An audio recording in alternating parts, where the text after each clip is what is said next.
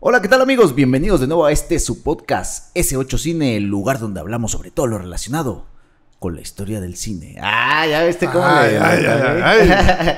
El día de hoy tenemos de nuevo a Javi con una clase más de cine. ¿Cómo estás, Javi? Muy bien, muy bien, Edgar. Gracias por tenerme aquí de vuelta. No, pues gracias a ti por, por regresar. Estoy encantado. ¿no? Yo dije, no, ya no va a querer regresar. Lo que pasó No, la ¿cómo última no? vez. ¿Cómo no? Ahí- Si vamos ahí a hablar además. Ustedes vayan de- a ver para que vean qué, Sí, qué por pasó. favor, no, no, no.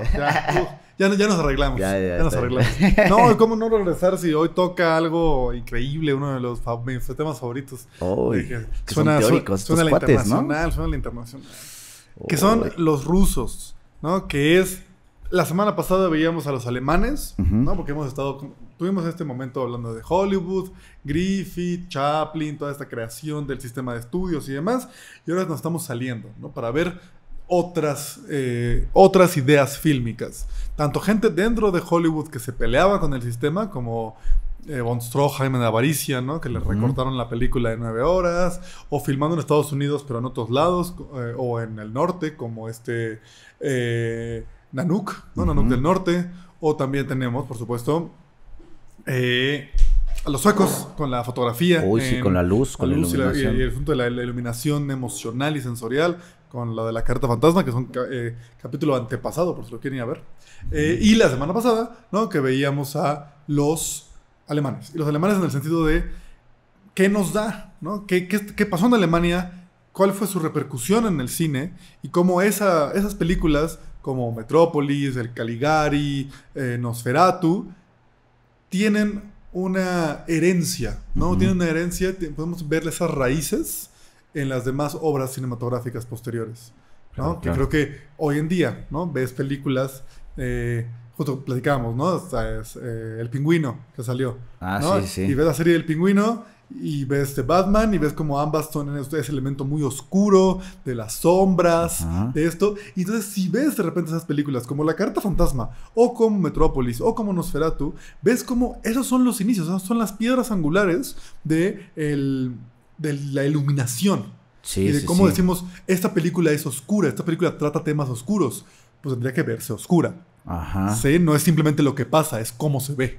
Sí, sí, sí. Fíjate que lo que mencionas está interesante porque yo no, eh, no, no hacía esta, esta eh, enlace, conexión. ¿no? Esta conexión de la película oscura con realmente la estética, pero realmente de ahí viene, sí es Claro. cierto, las películas que, que eran más como en la- esta película que, que vimos la vez pasada, que, la, la sueca, Ajá, este, la carta fantasma. la- la carreta fantasma, eh, cómo iluminan y, y la, la iluminación se les es tan contrastada y eso que era antes del expresionismo, que en su momento decíamos, no, pues el expresionismo es el que comenzó a este, generar estos altos contrastes, pero no, esta, esta película de ahí viene y son Claro. temas oscuros. Y, y si ves una película de terror, en su gran mayoría van a ser películas oscuras. No en los temas que tratan, sino también en la iluminación que todo, tienen. todo. De repente hay excepciones como Midsommar y demás, que justo eh, te acuerdas porque, oh, es la excepción. Pero en sí, 90-99% de las películas que ves tú de ciertos géneros están iluminados como cierto género, ¿no? Como, como- Sí. como ya establecemos este código de luz. Sí, o por ejemplo, de repente ya, ya personas como, como del toro, ¿no? Agarran la estética que es más oscura, pero lo llevan otros, a otros terrenos, ¿no? Por Que no tiene que ser de miedo. Por ejemplo. Y ahí es cuando, por lo que mencionabas de Midsommar, ¿no? Midsommar agarra del terror eh, un tema más psicológico, pero no la estética. Y aún así te sigue dando miedo porque es extraño y, y lo que es extraño nos da miedo. Sí, completamente. Entonces, Ajá. sí tienes un elemento de rareza, pero que no viene nada más de lo que sucede, sino de que la película está filmada de cierta manera para generar esa emoción. Eso es Caligari. Eso es Nosferatu. Eso es El último de los hombres. ¿no? Ves una película y sientes a través de la herramienta eh, pictórica y estética, no nada más narrativa. ¿no? Sí, sí, sí, sí. Hoy vamos a clavarnos con otro elemento. ¿Por qué? ¿Y por qué tan importante eso? Porque, como lo decimos hoy en día, es una de las bases de la construcción del lenguaje cinematográfico más allá de alguien se para en pantalla y te actúa. Ajá. ¿Sí? ¿Qué digo? Eso, eso es importante, por supuesto, pero tiene más que ver con el asunto de la interpretación y eso es más cercano al teatro. Cuando le empiezas a meter elementos estilísticos plásticos a la manera en la que filmas la película, cuando juegas con la iluminación, cuando juegas con el montaje, cuando juegas con el tiempo y todo ese tipo de cosas, y los movimientos de cámara y demás, es donde realmente estás filmando algo de manera cinematográfica, no simplemente pones la cámara fija y que suceda.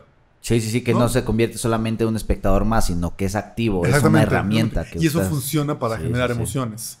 Hoy los soviéticos nos van a enseñar a cómo no es nada más la iluminación y no es nada más la, creación atmosférica, es también el corte. Ah, es también cómo cortas y a dónde cortas y de dónde cortas que va a ayudar o perjudicar tu película. Ok.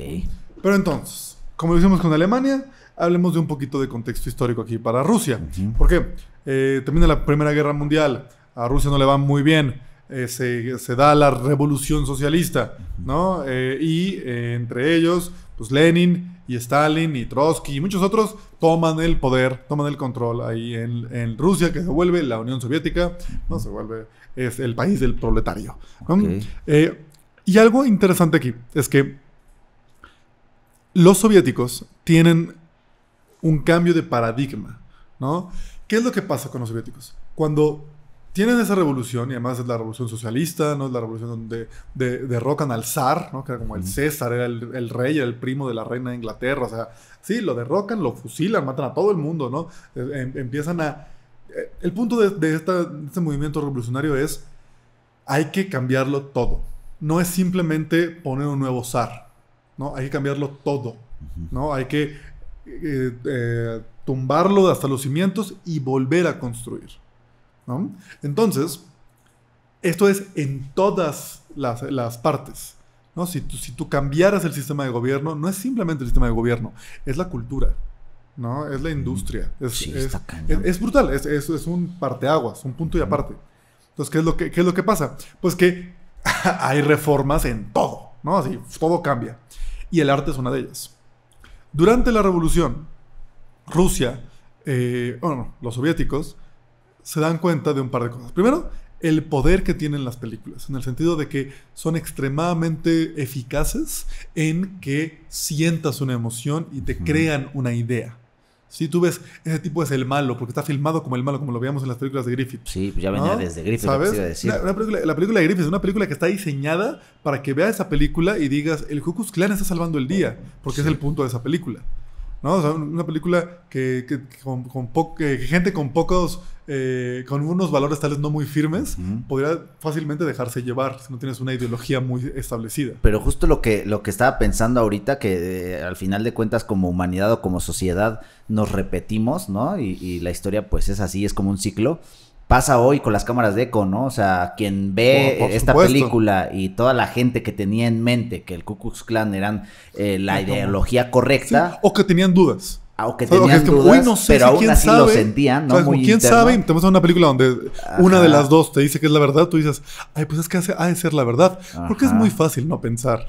Es muy fácil dejar que la media piense Pero pasa muy pasa muy seguido. Eh, hoy en día cualquier cosa que tú ves en internet ¿Es real? o así dices, "Ah, esto me suena lógico, es real claro, o me lo compro." Eh, el otro día es como alguien digo, "¿Es que viste lo que pasó el otro día?" Y, es como, "No, tú tampoco lo viste. Tú viste un TikTok hablando de eso y por lo tanto dices, "Ah, pues ha de ser real. No te lo cuestionaste. Pero si hay un asunto de cuestión, hay un asunto de pensamiento crítico. Ajá. ¿no? Sí, sí, sí. Que, es que el cine es muy, muy fuerte su capacidad creadora de ideología. Eh, y Lenin, por eso, incluso tenemos un texto escrito por Lenin donde escribe que dice, eh, cito, para nosotros de todas las artes, el cine es la más importante. ¿no? El, uno, el arquitecto de la revolución socialista diciendo el cine es lo que nos importa. ¿Por qué? Porque es una máquina de, de, ideología. Oye, aquí en este aquí estaría bueno hacer un paréntesis. Tú ¿Qué, piensas acerca de que el cine tenga que deba de ser muy riguroso en temas y en, y en, discursos, porque en este caso es algo similar, ¿no? O sea, es como el discurso tiene que ser a favor de esto y no puedes hacer algo diferente, pero no sé si el arte tenga que ser eh, como, como atado, no sé cómo llamarlo. Depende de ambos, porque en sí siento yo que ¿cómo decirlo?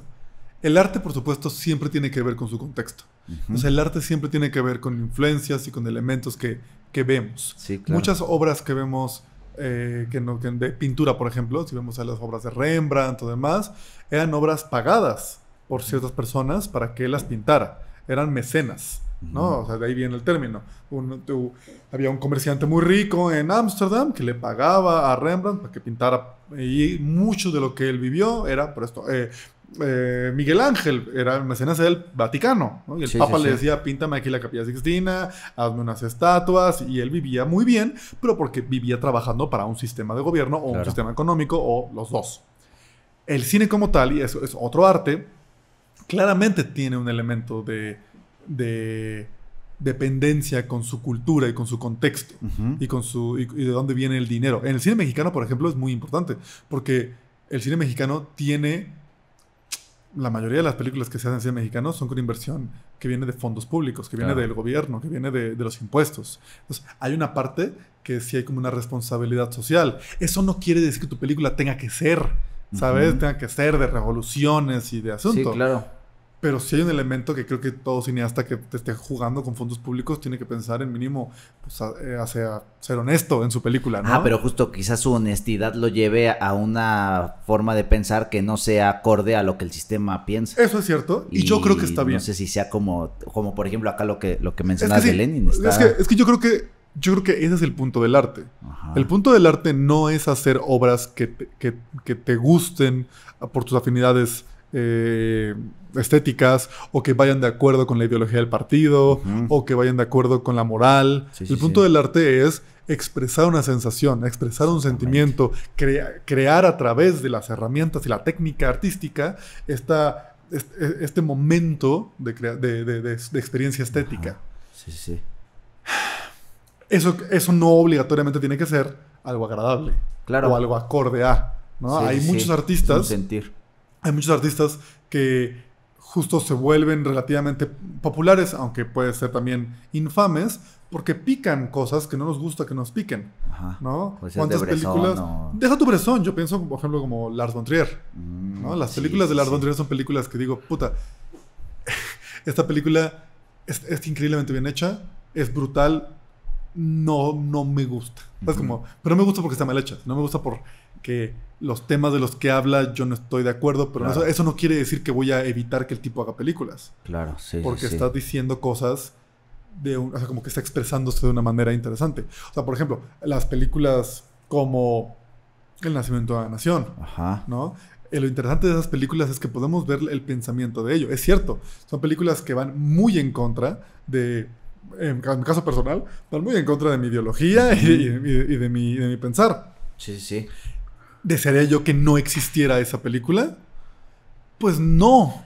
No, porque, tampoco, o sea, porque de nuevo, ¿cómo decirlo? ¿Quién soy yo para, no? Si alguien lo va a hacer y que lo hace y, si alguien va a hacer hoy en la hoy eh, en, en día una película que habla de cierto tema en la que yo no estoy de acuerdo, bueno, yo no estoy de acuerdo.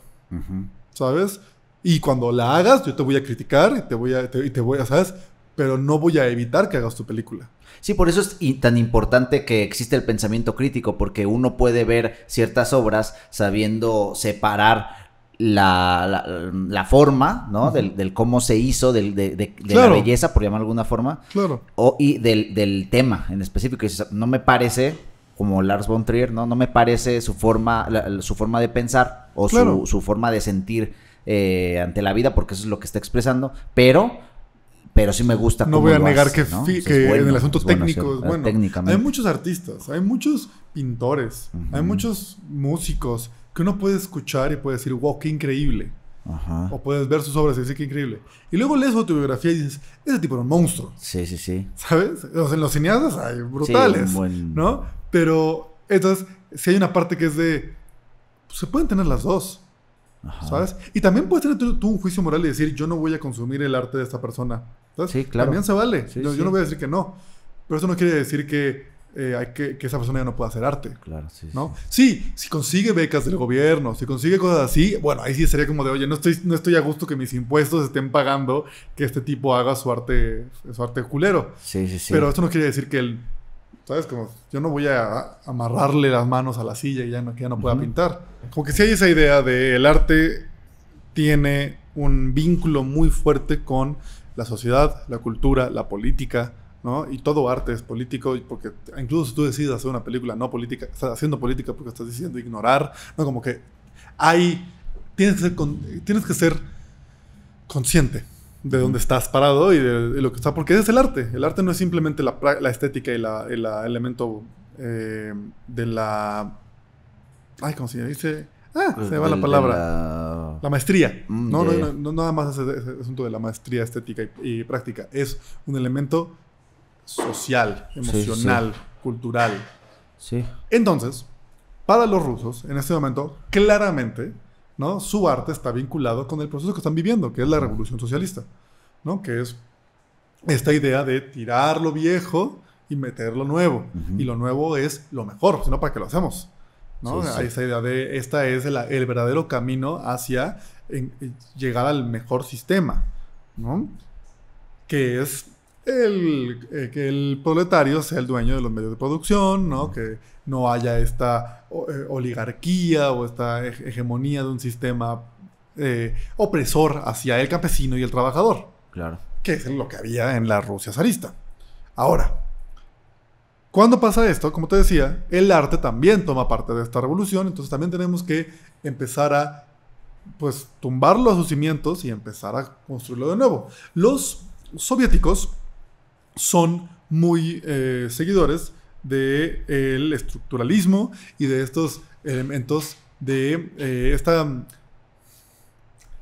es esta ideología de tenemos que entender todo por todas las partes. No podemos nada más quedarnos, verlo desde afuera y decir, no, tenemos que meternos, tenemos que jugar, ¿no? Eh, tenemos que, por ejemplo, si estamos viendo una máquina, tenemos que deshacerla y armarla de nuevo para ver realmente cómo funciona todo, porque si, tenemos, si, queremos mejorarla, pues tenemos que saber cómo funciona por todos lados, ¿no? Si queremos cambiar cosas y quitar cosas, y que, que yo creo que es lo que tenemos que hacer para poder avanzar y no nos quedemos con la misma máquina anterior, pues entonces ah, tenemos que conocerla. No, es nada más leer el manual, es meternos ahí. El cine entonces es eso. Y además el cine tiene 20 años. ¿no? El cine tiene muy poquito cuando es la revolución de 1917, 1918. Entonces, eh, lo que sucede es que hay cierto personaje llamado Lev Kuleshov, el cual eh, le dan como el cargo de abrir este taller, escuela, estudio, ¿no? En, en, la Unión Soviética para empezar a jugar, empezar a probar cosas, empezar a eh, filmar elementos que, que, que, pusieran en duda y cuestionaran la construcción cinematográfica. Porque ya teníamos 20 años, ya teníamos el nacimiento de la nación, ya teníamos intolerancia, que a los soviéticos les encantaba intolerancia, porque decían, está cortando de Cristo a un drama contemporáneo, a una, la noche de los hugonotes, no por un elemento de que hay alguien que viaje en el tiempo o que alguien está contando una historia, sino nada más por temática. Temática, sí. ¿Se vale eso? Ah, no, justo como, ¿eso se puede? ¿Está permitido? Pues, ¿Quién les dio chance? ¿Quién les dio chance? ¿No? Ajá. Entonces, eh, Lev Kuleshov empieza a hacer sus ejercicios. Y uno de ellos es, vamos a poner aquí, es el conocido como, ¿el que sea? Eh, es que es el de... Aquí. Uno que se llama el, efecto Kuleshov, porque él es Lev Kuleshov.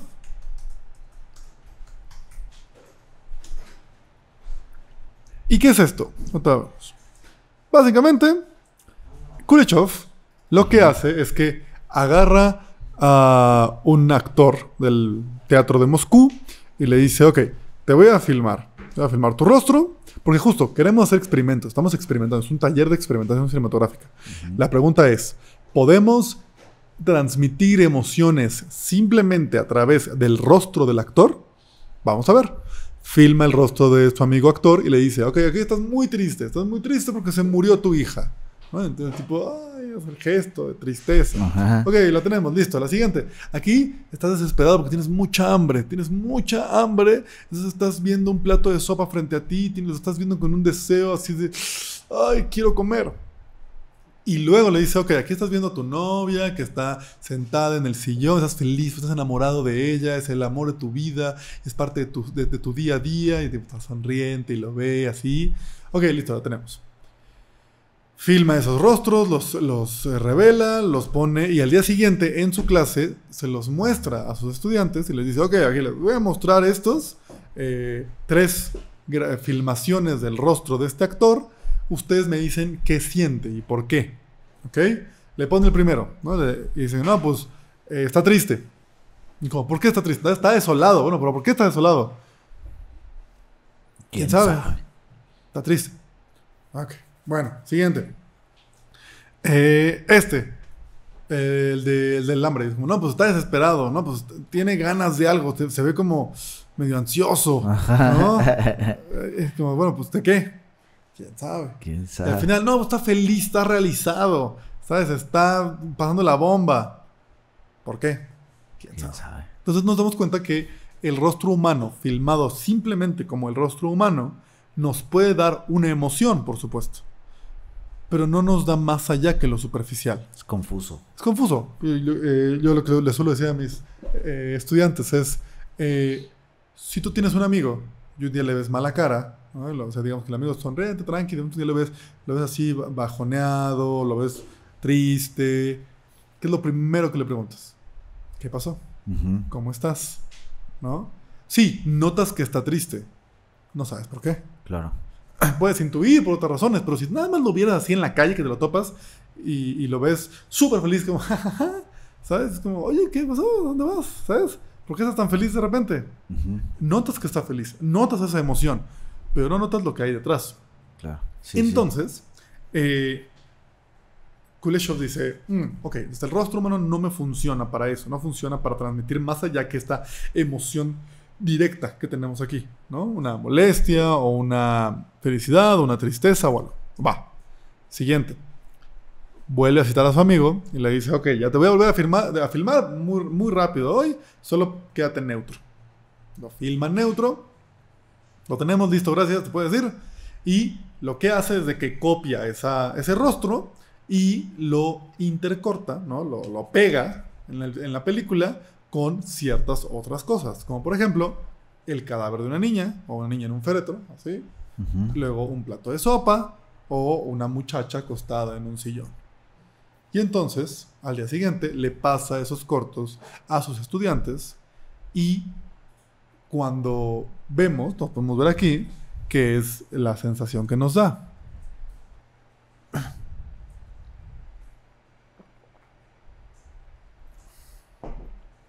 Como que tiene hambre, yo digo. Se antojó una chopita. No, está triste. Está no, está hecho pedazos. Sí, se le murió a alguien ahí. No, hombre. No, hombre. Está contentísimo. No, está- está No, prendido. Mira, míralo. No, tiene hambre ahora. Es que ya tiene hambre, sí, claro. Sí, por supuesto.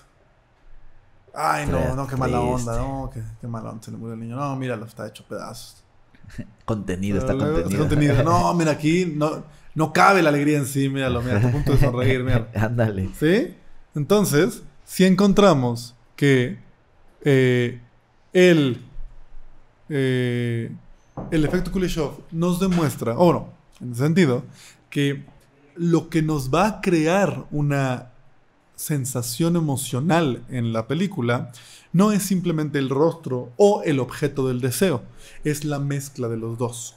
Sí, sí, sí. Si por un lado tienes el rostro de alguien y, por y en el otro tienes lo que está viendo. lo- y esa mezcla de primero ver a alguien y luego ver lo que está viendo nos va a vincular con cierta emoción. ¿Sí? Sí, sí, sí. Ahora, eso es interesante, porque esto es un asunto casi casi de psicología, ¿sí? Ajá. En donde tenemos un elemento de, tenemos el plano A, que es el plano rostro, el plano cara. Luego tenemos el plano B, que es el plano sopa, ¿no? A y B. Cuando los juntamos, si fuera una suma, si fuera... eh, A más B. sí, sería A más B. A más B es igual a... Entonces, por un lado, tú dirías, ah, pues igual a AB. Pero no, porque cuando vemos ellos do- eh, estos dos planos, no pensamos, la cara del tipo se volvió sopa. Ajá. No pensamos en cara sopa, no pensamos en que uno se volvió otro. Ajá. No pensamos que ahora es un tipo que tiene sopa en la cara. No, Pensamos en una emoción. pensamos en hambre. Ajá. O una sensación. Hace ajá. una idea. Sí, pensamos sí. en hambre. Pero eso no existe. ¿no? A más B, cara más sopa, nos, nos da hambre. A más B nos da C. Pero C no existe. C no está. No filmamos Acá hambre. está, ¿no? Pero está aquí. Está en la cabeza del espectador. ¿Sí? Entonces, cuando tú estás filmando algo y filmas algo, filmas otra cosa y luego lo juntas, ese intercorte, uh, por supuesto, estará bien hecho, pero esa juxtaposición de cosas, que viene la palabra del día, ¿no? Juxtaposición, La juxtaposición. nos va a dar ideas. Y por eso es lo que Lenin dice que es lo más importante. Porque estás creando ideología. Ajá. ¿Sí? En Spider-Man 3, cuando Spider-Man va a salvar el día, vuela por los aires y luego se para en el Empire State y atrás de él ondea la bandera gringa, ¿sabes? Y música explota y no nos lo están diciendo, pero hay una idea que se está construyendo ahí. Spider-Man es un héroe, la bandera es de Estados Unidos. Pues entonces Estados Unidos ha de ser muy heroico. ¿sí? Sí, sí, sí. Nos está creando esa ideología. Sí. Lo está poniendo ahí y de repente lo podemos tener aquí en la cabeza y decimos, claro. ¿Sí? Sí, está, está bien eh, interesante porque justo hoy en día se nos hace más, o sea, muy lógico, por llamarlo de alguna forma, el lenguaje, ¿no? Y aquí es donde nace esta experimentación, porque eh, tomando justo eh, clase de guion con, con el buen Genaro, a que le mandamos un saludo a. Genaro. Este nos menciona, o sea, estábamos escribiendo, ¿no? Y entonces de repente cuando uno empieza a escribir un guion cinematográfico, como estamos acostumbrados a, a leer literatura, ¿no? Eh, son muy explicativos, ¿no? Entonces es como eh, él está triste y tiene una cara desolada por de- lo que le ocurrió el día anterior, que su, su mamá, bla, bla, ¿no? Y acá es como si tú pones toda esta descripción, pasa esto que le dijo Kuleshov a su amigo, ¿no? Es como, haz rostro de que tienes, estás desolado porque tu mamá, bla, bla, y eso no se comunica porque nosotros no estamos entendiendo Claro, qué está pasando. O sea, vamos a entender que alguien, que alguien está, Está triste. triste. Y pero no hay un contexto, no hay un... Pero si no hay un contexto, solo te vas a quedar en, ah, qué buena, qué mala onda. Sí, sí, sí. Pero no quedas en un, ay, ¿no? Que te acongoja, que te, Ujú. que te aprieta el corazón. Y también esta cuestión de que cuando nosotros vemos una película o cualquier cosa audiovisual, eh, como nos están dando toda la información de la forma en la que regularmente nosotros percibimos, que es visual y auditiva, así como cuando percibimos el día a día, comenzamos a, lo, lo hace tan fácil nuestro cerebro que comenzamos a analizar. O sea, ya, ya no es solamente estar como cuando lees, uno está leyendo y está entendiendo lo que está leyendo y, y es más, mm, más difícil eh, tratar de concentrarse. Cuando uno está viendo una película, ya la concentración es más fácil porque nosotros estamos acostumbrados a recibir así la información, entonces pasamos al siguiente nivel, que es analizar lo que, por qué está pasando esto, por qué el otro, entonces nos empezamos a cuestionar y eso es lo que genera en nosotros esto de, ah, está pasando esto, ay, cosas que no están que, que no están explícitas, pero sí, eh, sí, sí las están colocando ahí para que nosotros creemos esa idea. Completamente, completamente. Está, está analizando, ¿no? Todo esto pasa, es un, es un proceso automático. Claro, y que te digo, no es de gratis. Ajá, Sí, uno puede, sí, o sí, como sí. que siempre- yo siempre me he topado con la banda que dice como, pues ya, pues porque así pasó y ya, ¿no? Ajá. ¿Sabes? Y la banda dice como, de, el, este, luego es la, la clásica burla de análisis literarios que es de, no, es que el cineasta solo tuvo que hacer eso porque era lo que tenía ese día y ya tú lo interpretas de una manera Ajá. de que, no, porque,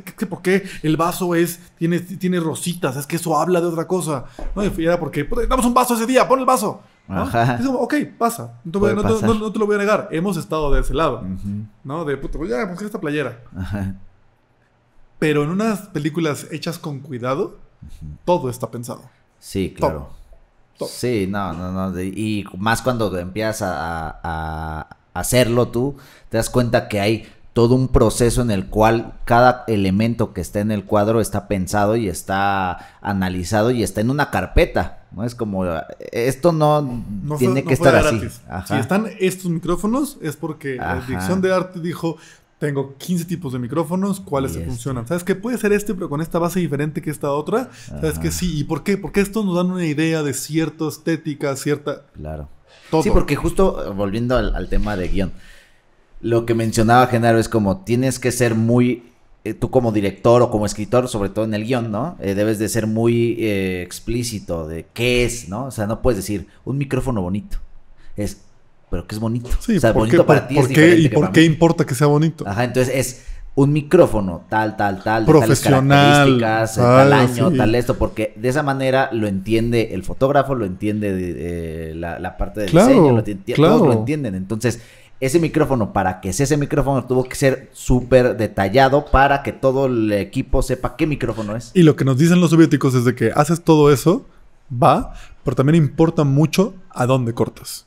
Ah, También sí, importa sí. mucho, sí, tienes todo eso, quedó perfecto, ¿qué sigue? Ajá. Porque lo que sigue también te va a dar una conexión. Te da el C. Te da, sí, justo, te da el 6. Entonces es como de, ok, ya vimos la escena del micrófono aquí, pero ¿de qué están hablando? Puede ser gracioso, puede ser desolador, puede ser... ¿Qué va a pasar con el corte? Ujú. ¿Sabes? No, que no sea simplemente fin de capítulo inicia otro, porque incluso hasta los fines de capítulo inician otros, están pensados para...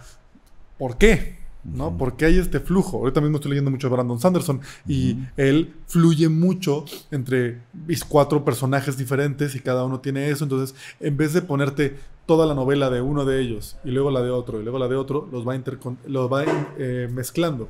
Entonces, capítulo 1 de él, capítulo 2 de ella, capítulo 3 de ellos, capítulo 2 de él, así, pum, pum, pum, te va. Y tiene un flujo, y tiene un ritmo.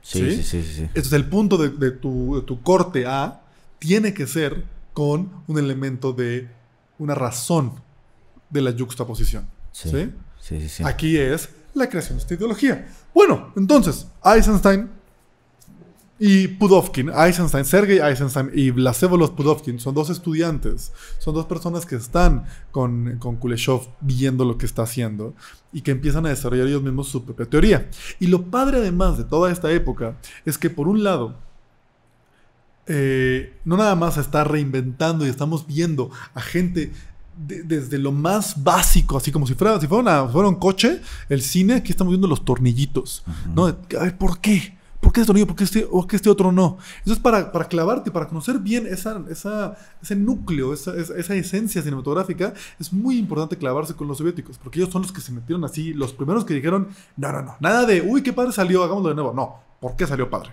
¿no? Hay que ver qué plan. Pudovkin y Eisenstein, la segunda parte por lo cual es muy chido esta época, es porque todos lo, escri- lo escribían. Son teóricos también, teóricos y fílmicos. Entonces tenemos los textos. ¿no? Pudovkin publica su film technique o la técnica cinematográfica y eh, Eisenstein publica el sentido del cine, la forma del cine y luego tiene, tiene como seis libros más. ¿no? Pero en, ese, en esos libros podemos ver esas sensaciones. Eh, Pudovkin te habla desde cómo dirigir actores, cómo escribir tus guiones, cómo, o sea, y estamos hablando de 1918, 1920. Sí, esas técnicas de un De arte 100 que años. tiene 20 años y fue hace 100. No, más de 100. Entonces, eso está muy interesante. Justamente, eh, aquí está. Pudovkin y Eisenstein, ahorita platicamos de ellos. Pero bueno, algo interesante. Los agitprops. Pongamos un pin en Eisenstein y Pudovkin y hablemos de los agitprops. Los agitprops eran una eh, propuesta soviética para llevar el cine a todo, todo Rusia, bueno, toda la Unión Soviética. ¿Por qué? Tú, ves- tú ves Rusia o ves la Unión Soviética en un mapa, es gigantesca. Ujú. Es el país más grande Sí, del mundo. sí. ¿Sabes? Brutal. ¿Cómo le haces para transmitir tu ideología a cada pueblo? ¿Sí? A- a- además, en 1917. Ujú. Complicado. Los trenes, la industria ferroviaria, ayudan muchísimo. Porque ahí ya puedes conectar pueblos entre sí y puedes hacer recorridos mucho más rápidos que a caballo o ob- obviamente a pie. Entonces, ¿cómo le hacemos con los trenes? Los agitprops eran trenes que estaban diseñados para viajar a todos los pueblos de Rusia y llevar esta información y llevar servicios y llevar eventos. Estos agitprops tenían este, este asunto, incluso creo que Cinépolis tenía algo similar, de que era el tren que llegaba a un pueblo y se volvía sala de cine. Ah, ya. ¿Sabes? Y entonces la gente, como claro, pues es que la, la gente en el pueblo perdido en la tundra rusa nunca va a poder ver las películas porque no pueda, nunca va a poder ir a una ciudad, no tiene el dinero, no tiene la necesidad de ir a la ciudad a ver el cine. ¿No? Porque pues, justo hay tres cines tal vez. Ahora es como, bueno, pero el cine viene a, a ti. Y aquí te pasamos las películas. Y te pasamos las películas documentales, te pasamos los reportajes, te pasamos lo que está pasando en el país. ¿Sí? Y además, otros vagones de la JetProp estaban diseñados para hacer un estudio de filmación y un estudio de revelado. Entonces, así mataban dos pájaros de un tiro. Filmaban en la ciudad películas para la gente del campo Y cuando se iban al campo a mostrar las películas a esta gente, filmaban a la gente del campo, filmaban el campo y luego lo revelaban y le mostraban a la gente de la ciudad las películas del campo. Ok. Sí, entonces mataban dos pájaros de un tiro. Sí, sí. En estos Agit Props trabajaban dos personas que nos llaman la atención. Uno es Edward Tissé y otro es Dennis Kaufman. Edward Tissé era un sueco, un sueco que se fue a Rusia a trabajar ahí, fotógrafo increíble, era el jefe de filmaciones de uno de los Agit Props. Él se volvería después el fotógrafo particular de eh, Eisenstein, se vuelve su Mm. fotógrafo, así como el, el Ubeski de la época. Ajá, sí. Y incluso, aquí cuenta la leyenda mexicana, pues que Tissé es el que viene a filmar que iba a México con Eisenstein, es su fotógrafo en que iba a México. Y dicen las leyendas, porque luego y lo podemos ver un poco en la fotografía de Tissé posteriormente en las películas y las películas aquí, que es mucho de lo que ayuda a inspirar e incluso a enseñar mecánicamente a fotógrafos mexicanos de la época, como por ejemplo Gabriel Figueroa. Órale. Entonces tú ves películas de Eisenstein y ves los cielos de Alexander Nevsky y tú dices, eso le parece a los cielos de Figueroa. ¿No? Entonces, ya- obviamente no voy a decir que, o sea, como él enseñó a Figueroa, pues no, pero es que todo artista aprende de los que vienen detrás Pues de él. sí, vienes aprendiendo y viendo. y si te toca trabajar con un maestro, vas a aprender de él. Sí, pues sí. Por favor, Ujú. ¿no? Bueno, a excepción de Figueroa, porque él sí tapaba todo. Para después. dejaba. Sí, claro, él, él trabajaba para eso, no, no con estudiantes, Ajá. pero pues él va a aprender de los demás. Sí, claro, ¿no? claro que sí. Le conviene, vamos. Sí, sí. Entonces, Tisse se encargaba de ello. Ok, no, y aparte, seguramente venía con toda la escuela de la, foto- de, de la fotografía sueca que Además, ya estaban trabajando con ¿no? luz. Así había un elemento de una intercomunicación entre culturas cinematográficas. El otro, el otro chavito que trabajaba ahí era Dennis Kaufman. Dennis y Boris Kaufman eran dos hermanos judíos que trabajaban en los vagones, mientras que Tissé se encargaba de filmar todo, los hermanos Kaufman se encargaban de editar todo. ¿ok? Entonces ahí empiezan a jugar muchísimo con la idea del el montaje y la construcción a través de simplemente pedazos de película. ¿ok? Kaufman después filmaría sus propias películas bajo el seudónimo de Zigabertov. Ah, Ajá, Berto. Él es el Zigabertov, que significa la pirinola. Mm. Eso, es- eso es lo que significa, Zigabertov. Eh, entonces, y él filma lo que muchos consideran tal vez una de las primeros estos parteaguas del montaje soviético, que es El hombre de la cámara. Sí. Famosísimo. Veamos, veamos, veamos partes del hombre de la cámara. The Man with a Movie Camera. Cuando siempre decían, cuando creas que el- tienes una nueva idea de dónde colocar la cámara, ve el hombre de la cámara. Vas a ver que ya lo hicieron hace más, hace más de 100 años.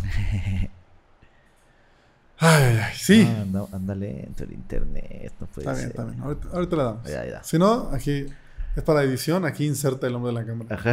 Entonces, como, oh, qué padre. Oh, Oh, wow, mira Ahí, esa eso. parte. Cielos. Qué Está- está increíble. raro, ¿eh? A ver, Ahí está. está. Tarda un poquito, tarda un poquito. Ok, entonces, vamos a adelantar un poquito porque sí, la parte, la duda, el, lo del. Ok, y. Pues, está, de buena calidad. No sé cuándo lo subieron. Ah, está bueno. Sí, muy bien. Esto me encanta además. Esta primera parte, que es. No hay música, no hay música, no hay música. Todos estamos expectantes y de repente. El cineasta activa la luz. Y es la luz la que La que lleva crea el sonido. Y con ella empieza la música ya.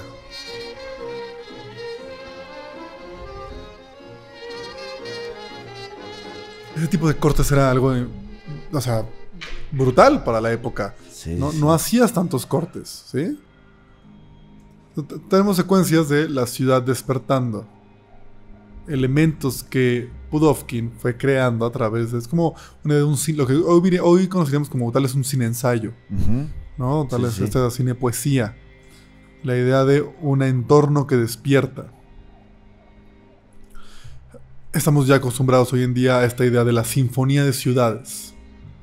¿no? Entonces creo que empezamos a ver cuando empieza a despertar la película. Está Sí, porque está, muy está- súper estático. padre porque eh, parece, pareciera que, que son cortes al azar, pero trae toda una narrativa. elemento temático. Ujú. Un elemento temático. Ahorita tenemos la idea de lo estático. ¿no? Todo apagado. Todo fijo. Y de repente. El camarógrafo. El centauro le decían, porque tenía estas cuatro patas, las tuyas y las del tripié. Ajá, sí,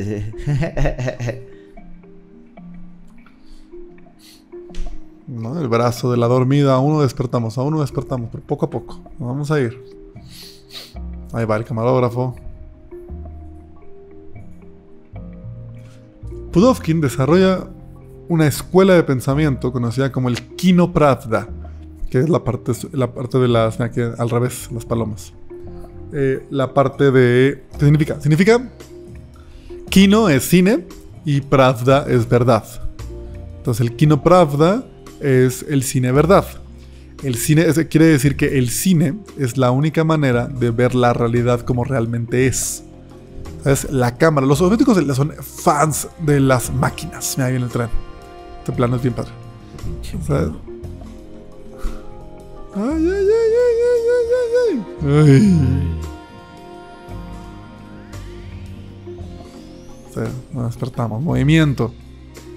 Entonces, ¿cuál es esa verdad? Por supuesto, ¿no? De nuevo, la máquina. Los soviéticos les encantan las máquinas. El ferrocarril, los tractores, las, máquinas de, trabajo que ayudan a, a- que ayudan a todos. Ayudan a los obreros, ayudan a los campesinos, ayudan a los artistas. La máquina cinematográfica es la cámara. Entonces consideran que la cámara, al ser la máquina por excelencia del cine y la máquina a través de la cual ves y reinterpretas esa realidad, es la máquina que te, nos va a ayudar a ver la verdad. ¿Cuál es esa verdad? Por supuesto, y aquí tiene que ver lo que me preguntabas antes de el cine bajo, bajo qué mandatos está. Ajá. La verdad es el socialismo. Sí, o sea, como ellos dicen, es que el cine es la única manera en la que realmente podemos ver el socialismo, como, como como- la única manera, la manera en que podemos ver la, la realidad como tiene, como tiene que ser, y eso tiene que ser es socialista, obviamente. Ajá, Es como sí. que parece ¿A poco como- hay más? Sí, claro. Pero claro, porque son, porque Sí, siguen sí, una su ideología. Entonces aquí comienza a despertar la ciudad. Y de nuevo, planos. Que, o sea, se está armando la cámara, están armando la cámara. Bueno, está despertando la ciudad. Sí, elementos temáticos. Te digo que también estos chavos eran fans. Eran fans de Griffith, eran fans de intolerancia. Cuenta la leyenda también que eran tan fans que cuando ven intolerancia, Lenin le escribe a Griffith y le dice, oiga, señor Griffith, ¿no se quiere venir a eh, la Unión Soviética a ser el jefe del, eh, como del IMCINE ruso, ¿sabes? Del Im, IMRUSKI. Bruce dijo, hay puro, hay puro güero, ¿eh? Fue No hay puro, eh, puro ah, tipo blanco mamado. Ajá. Eh, y Griffith le dijo, nada, estoy bien, gracias. Pero imagínate, ¿no? Imagínate que aquí como país vemos una película y decimos como de, no más, ese tipo es increíble, que se venga aquí a dirigir Ajá, sí, sí. El, el Instituto, el Instituto Mexicano del Cine. Es como... ta- o sea, lo amaban. Sí, sí. Porque decían, ese tipo sí le sabe. Hay algo ahí. ¿no? Eran fans, eran muy fans del uso del montaje. Entonces empieza cada uno a tener esa construcción ideológica y de montaje.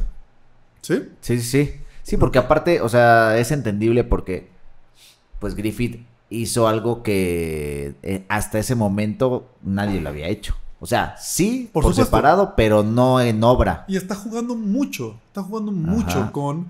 A ver, Sí, por eso Oh. yo creo que estos güeyes dijeron, no, pues, dijeron, oye, él este está haciendo güey". algo que nadie más está hecho. haciendo. A pesar de que Intolerancia fue un fracaso. Ajá. A pesar de que nadie la vio.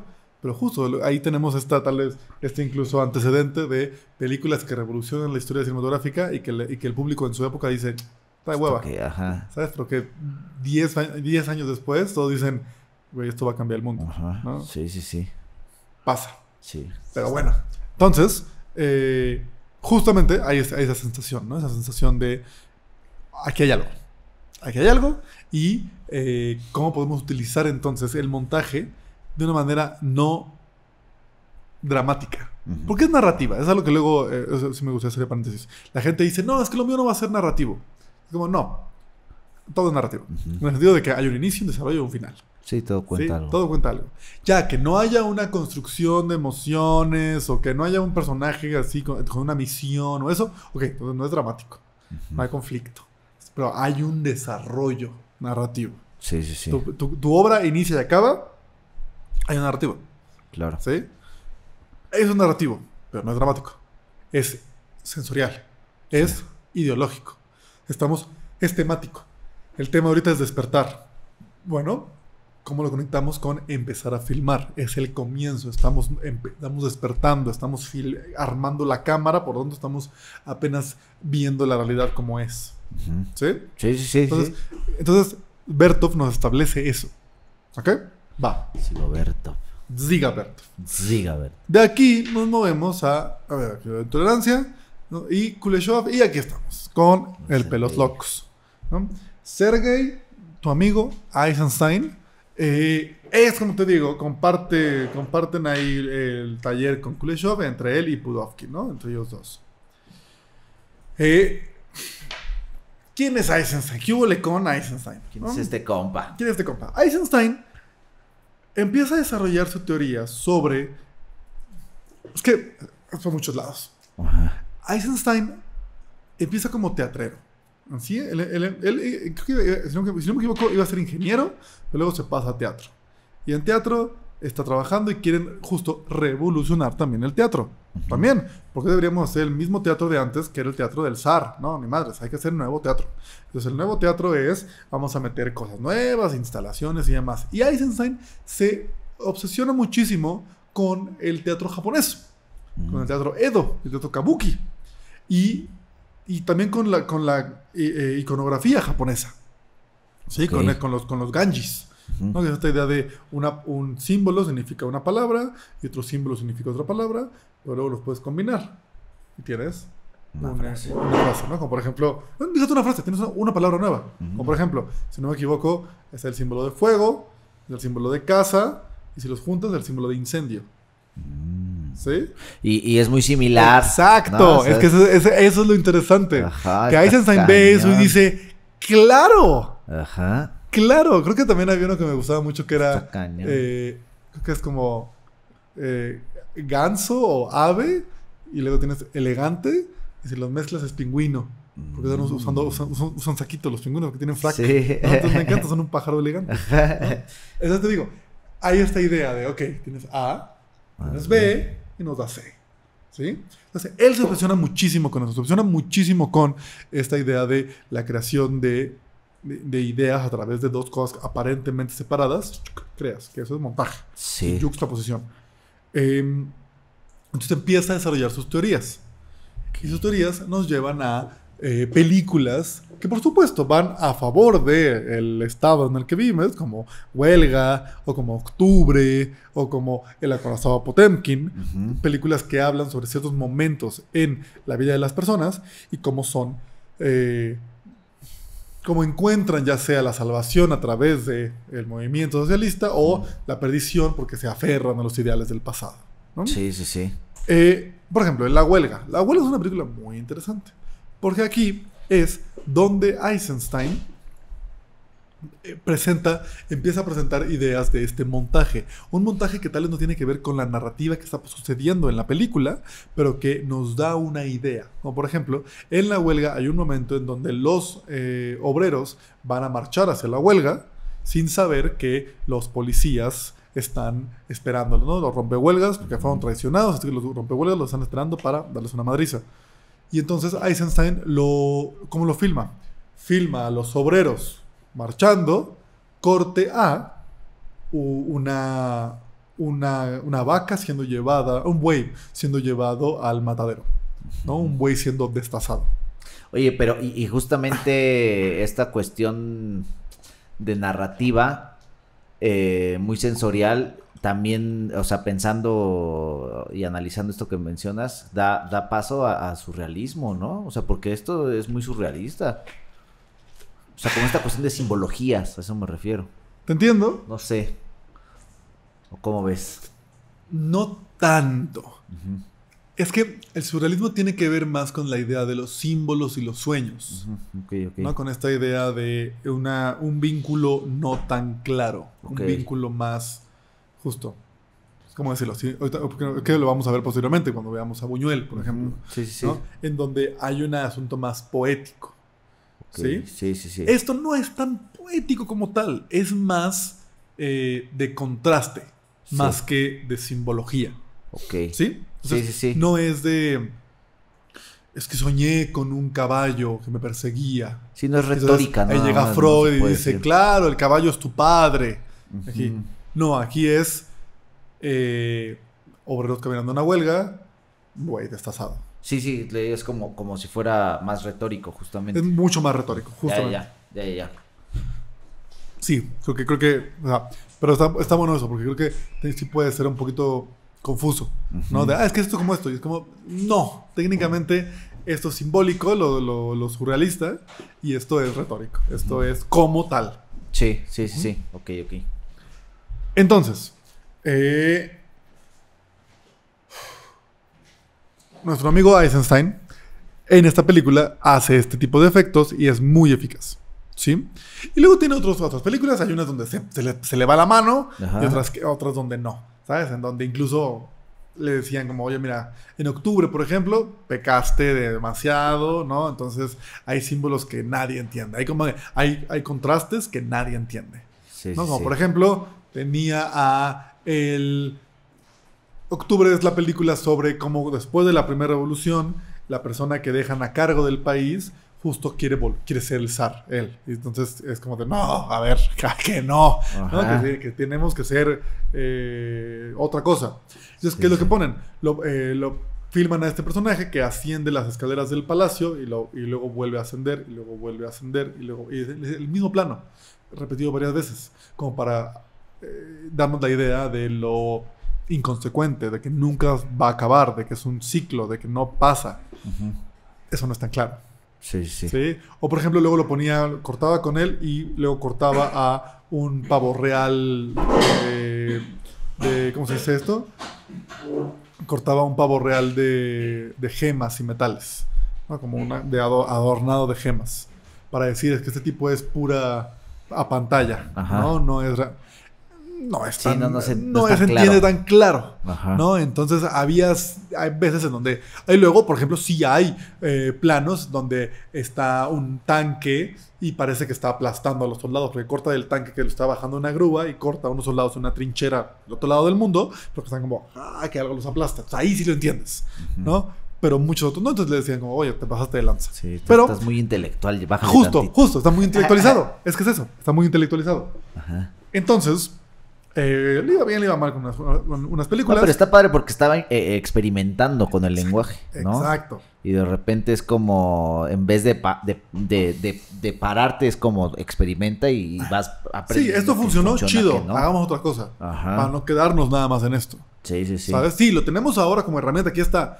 Pero el punto es no estancarnos. El punto es seguir buscando nuevas versiones. Claro. Entonces, Eisenstein luego filma una película que se llama El acorazado Potemkin. ¿Cuál es la historia del acorazado Potemkin? Que además en su momento es considerada tal vez la mejor película de la historia. Digo, había un poco menos de 30 años, entonces había menos, menos películas que hoy en día. Sí, sí, sí. Pero todos decían, güey, todo el mundo tenía que ver la Acorazado Potemkin. ¿Por qué? Eisenstein está planeando una película sobre la guerra ruso-japonesa que había pasado a, a inicios del siglo XX, finales del XIX.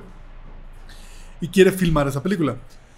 Está viajando por esa parte de Rusia, ¿no? La que está más cercana hacia Japón, la que está más hacia el este.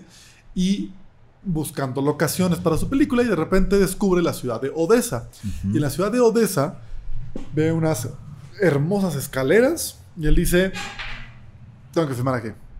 Así que desecha la idea de la película de la guerra y dice, tengo que hacer algo más pequeño, algo más de acá.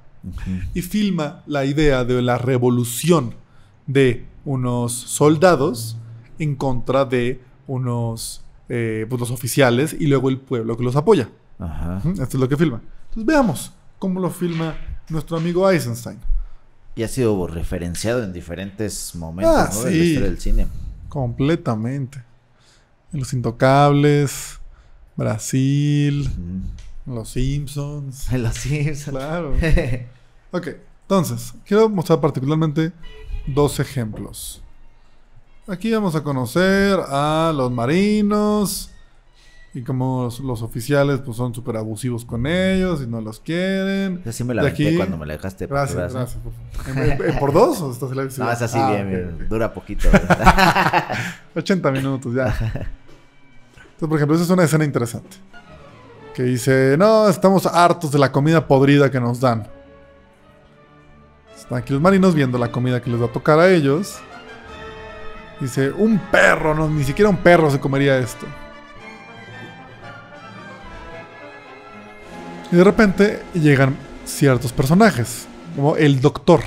El doctor lo vamos a reconocer muy al estilo Griffith, lo caracterizamos para que sea distinguible. Bigote y los lentecitos. El doctor llega a ver esto y dice, ah, mira, Smirnov se llama, el del vodka. Smirnov le dice, oiga, pues a ver qué está pasando aquí. Y dice, oye, esta, esta carne se movería sola. Y Smirnov hace esto, mira, se quita los lentes, los muestran de cámara, los vuelve a mostrar otra vez más. Una vez más, tres veces, cuatro veces. Y vemos los lentecitos como lupa, ¿no? Como está viendo sin ver. No está, o sea, está viendo aquí los gusanos. Y le dice, ay, estos no son gusanos.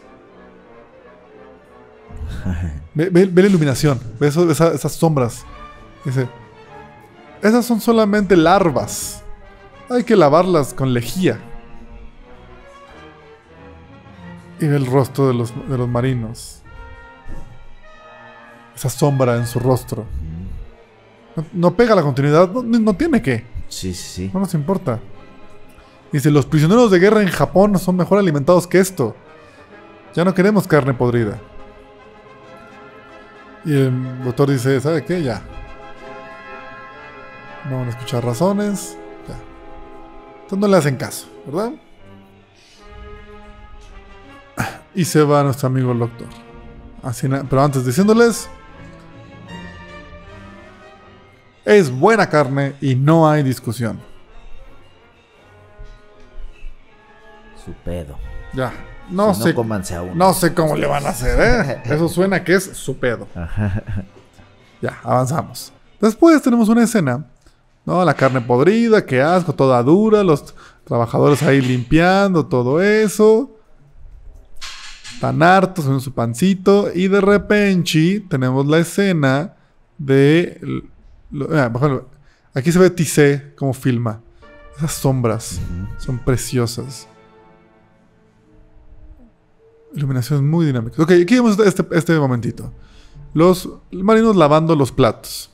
Y es la vajilla de los oficiales, además. Es la buena, la buena vajilla, la plata, ¿verdad? La que te da tu abuela. Y, ok, tenemos aquí todo eso. Tenía que ser plata, como decía este. Pues sí, tenía que ser plata. ok, entonces repetimos. Entonces, aquí estamos utilizando el, montaje para crear esa idea de monotonía. esa, idea del laburo. Ves que están cansados. respira. Y de repente vemos un plato que se distingue de los demás. Un plato negro, que tiene texto. El marino lo lee, la empieza a lavar y de repente le llama la atención. Dice, ¿qué es esto? Eso es Kuleshov. Puro Kuleshov. Dice, danos hoy el pan de cada día. Ah, es el Padre Nuestro. Los oficiales tienen la vajilla de danos. Y se saca, como que se, se molesta. ¿Por qué? Pues porque está harto.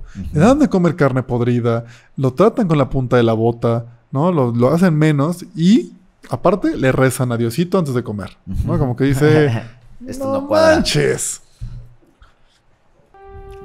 Y tienes este, tienes este momento. Vamos a verlo de nuevo. ¿Ok? Tenemos... Vamos a... En el guion dice, el marino rompe el plato. Un plano. 10 minutos. 1, 2, 3, 4, 5, 6, 7, 8, 9, 10, 10, 10 cortes, 10 planos en menos de 3 segundos. algo impensable. ¿Por qué? ¿Por qué, Edgar? Dejen sus comentarios, ¿por qué? ¿Por qué? ¿Por, qué tantos cortes? ¿Por qué tantos cortes? El, productor diría, nada más uno ya, va a estar bien caro. Ya la tienes, ya la tienes. Ya la tienes. ¿Por qué? Pues por esta cuestión de, de hartazgo, ¿no? O sea, yo pienso, ¿no? Como para hacer como un énfasis en, ¿no? Ok. Podría ser, no sé. Yo creo que también lo creo. Porque no es lo mismo que un eh, marino rompa un, plan, un plato en un solo plano a que lo rompa en 10. Porque la emoción es más presente. La emoción se incrementa. Porque el corte tiene una sensación de sí, sí, sí. ¿No? Sí, es abrupto. Aparte se los siente, movimientos. Se sí. siente más violento. Se siente mucho más agresivo. No es nada más un tipo está molesto. Es están hartos. Esto es un polvorín y en cualquier momento estalla. Sí, sí, sí. ¿sí? Después tenemos aquí la revolución, donde se van a, nos van a fusilar a unos marinos que se portaron mal. Y a lo que me gusta mucho aquí son un par de cositas. El primero es cuando se aparece el cura del, del barco.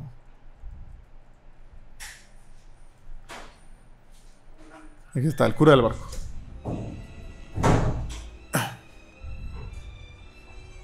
El capellán.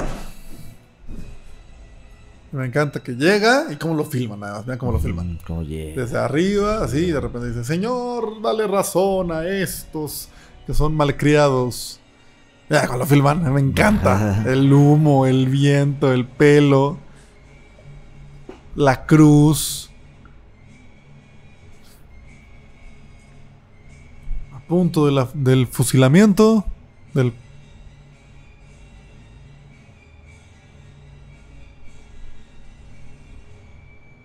Y de repente la cruz se vuelve el martillo que castiga. ¿Sí? Y el sable que acaricia al oficial. Y el bigote que se retuerce este compañero. ¿no? Se vuelve la crueldad. Aquí hay uno de los personajes que se llama Valkulnichuk. El bote, la frialdad de los objetos.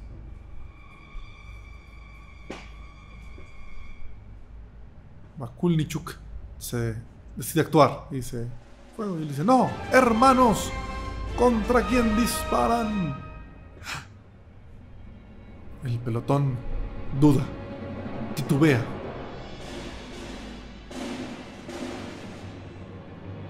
Y empieza a armarse la revolución cuando el capitán dice, a ver, son unos perros, disparen. Y dice, no.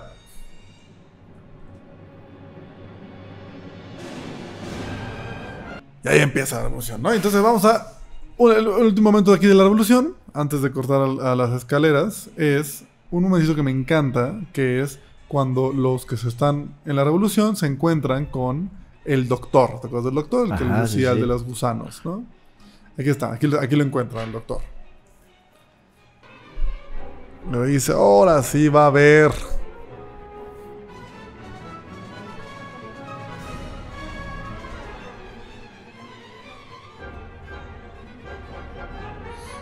¿No? Intentan agarrar de la cuerda, se lo llevan con toda la cuerda. Empiezan a subir, ve que le pide ayuda al el que el cual el padre se hace el muertito.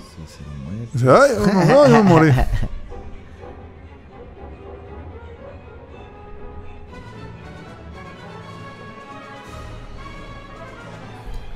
De aquí agarran al doctor y lo quieren aventar por la borda. Pues va. ¿Cuántas veces tenemos? Una, dos, tres, cuatro, cinco, seis. Gusanos. Mira quién fue a, alimentar y los lentecitos colgando. ¿no? Eso también es Griffith, ¿no? La idea del objeto que representa, ¿no? Sí, Eh, sí. Pero me encanta, me encanta ese que es... Cae, cortamos a los gusanos una vez más, ¿sabes? Y ahora él se fue a alimentar a los peces, él se fue a alimentar a los gusanos. ¿Sí? Aquí sí tenemos un elemento retórico brutal. Ajá. ¿Sí? Entonces, creo que eso, eso es lo que me encanta de Eisenstein, que es muy juguetón con la forma. Es con el corte. Entonces dice, claro, pues ese tipo de güey que les dijo de los gusanos en la carne, pues pon- cuando lo matan, pongamos una escena de gusanos en la carne. Sí, porque aparte también te, re- te remonta a, ¿no? A, ah, este güey. O sea, es como que. for- porque, por ejemplo, lo hemos visto en otras eh, películas más, más este, actuales, ¿no? Ajá. Esto de que de repente agarran un objeto y de repente cortamos a lo que pasó para hacer como todavía El énfasis particular. Acuérdate Sí. de esto, que esto representa esto. Sí. Sí, sí, sí. sí. una emoción todavía Pero más aquí potente. es un elemento de. ¿Cómo decirlo? Hay esta idea de. momentánea. ¿Sabes? O sea, es- es- esto es nada más para el espectador, no para la persona que está viendo la cosa y se acuerda. Aquí Sí, es sí, para sí, nosotros sí. lo que estamos viendo. Sí, sí, porque en teoría nadie la está viendo. Exactamente. Aquí es de. De ¿Te acuerdas? Es la de los gusanos, ¿te acuerdas? Sí. Ajá. Güey, estuvo chido. Ese momento estuvo chido. Mm, ¿Sí? Sí, sí, sí. Sí, sí, sí. es completamente. Completamente. Es como, por ejemplo, en. En Seven lo hace. Lo hace un poquito este Fincher. Al final de Seven. Spoilers para Seven. eh, en donde al final. Ya está Brad Pitt a punto de matar a Kevin Spacey. Y que Morgan Freeman le dice, no, no lo hagas, no lo hagas, no lo hagas. Y está como así. Y entonces hace el plano de, lo va a hacer, no lo va a hacer, lo va a hacer, no lo va a hacer, lo va a hacer. Y justo antes, justo en el momento ya donde se va a decidir, ¿qué hace Fincher? Un Inserta un frame de la cara de Gwyneth Paltrow, de la cara de su mujer. Frame. Ah, dices, no manches, no, no me acordaba de eso. sí, está es cabrón. un, así medio segundo de Sí. Gwyneth Paltrow así acostada sonriendo y lo, lo mata. Y No dices, pues sí, claro. Pero, es que eso potente es. ese, ese, frame. Es que es eso, porque, o sea, y es juntas a los dos. Estás mezclando esta idea de lo que está Ah, pensando el no personaje, manches. pero también lo dices, para la audiencia dices, pues sí, o Sí. sea, Sí, porque te genera una emoción. conoces al personaje además, ajá, es lógico. Más fuerte, más potente. Sí, sí, sí, sí, sí. Y, y es una más B. Es una más de. Porque no te está diciendo eh, aquí tienes que- eh, odio, ¿no? No te está diciendo eso, está pero diciendo, tú dices, sí. ya, ya lo odio más. Por ejemplo, en, Seven. diciendo. Sí, No, en Seven es como dijo. es la furia. ¿no? madre, ¿no? Sí, está- oh, no entonces, justo aquí te está diciendo justicia. Ajá. ¿Sabes? Cuando avientan al, al, al doctor al mar y cortan, hay como ese asunto de justicia y como, como Ajá. de. Te tocó. Fíjate que está, está bien cabrón porque justo pensando en este te- en esta cuestión de, de, de A más B igual a C, Ajá. ¿no?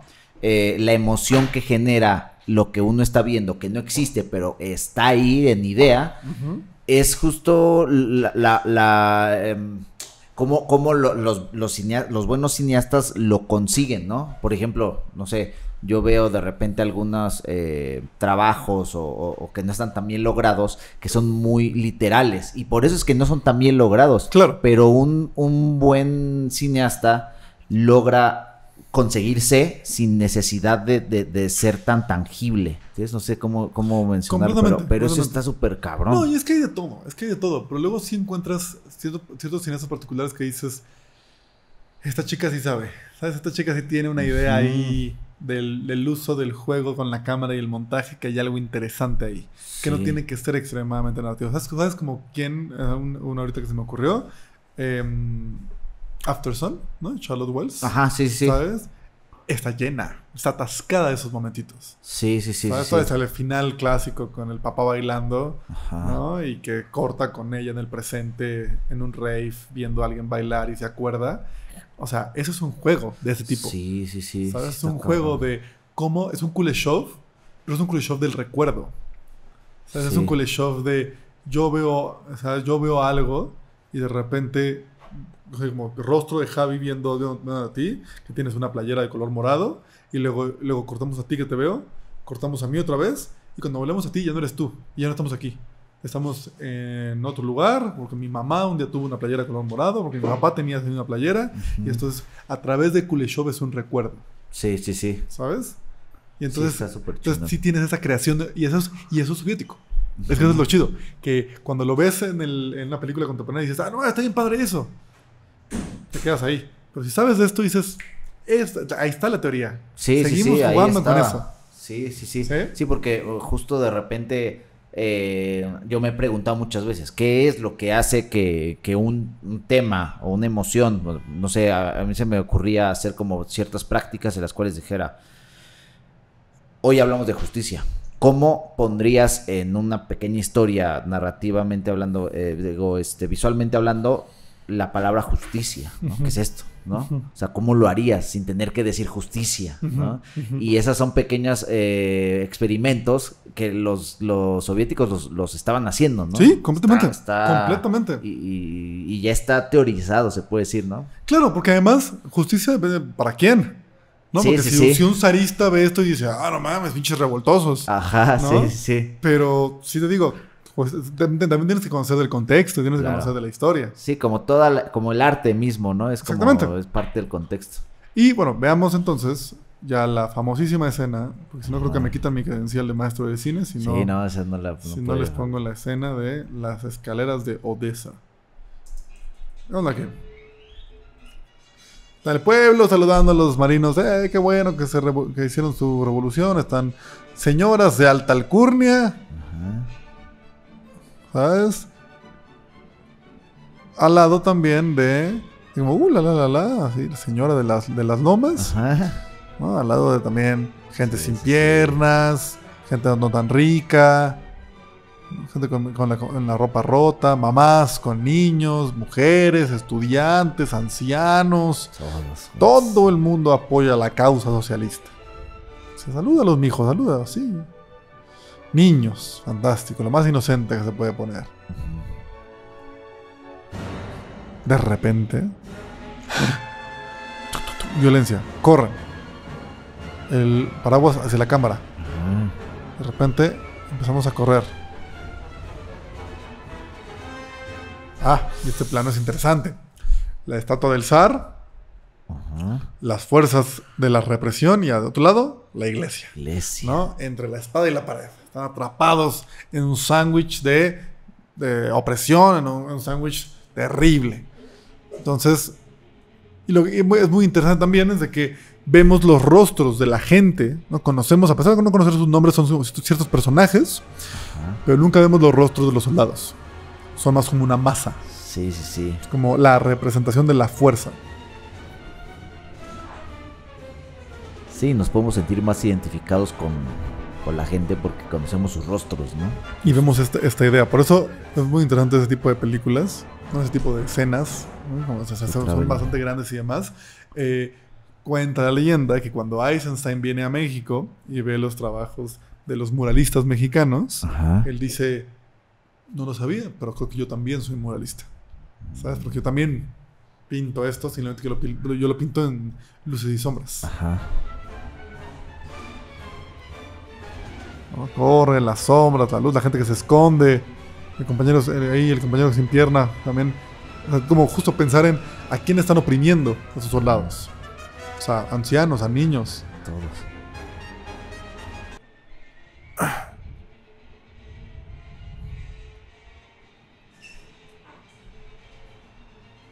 De cómo hace eterno el tiempo, ¿no? Ajá. Sí, justo además. La escalera que te toma en bajarla, ¿qué? Un 20 segundos. Ajá. Pero ahora te toma 10 minutos. Es como un infierno. El niño se cae balaseado, la mamá que lo deja atrás, lo voltea a ver como de. El niño. Y no nada más eso, sino que pues, pues, la gente lo pisa corriendo, es la marabunta. Es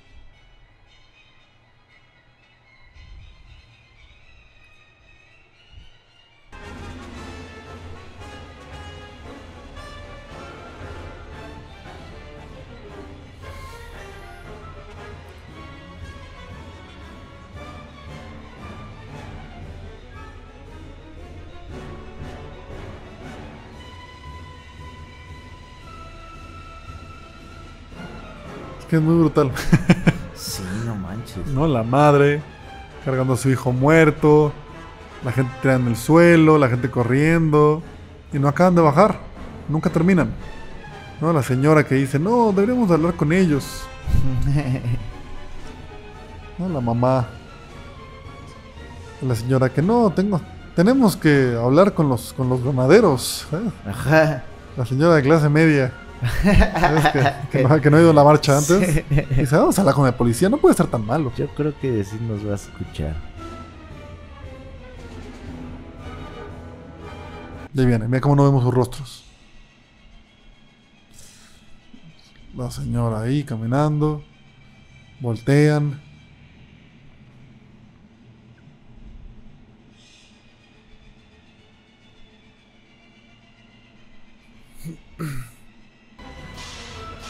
Balazos, la gente sigue corriendo.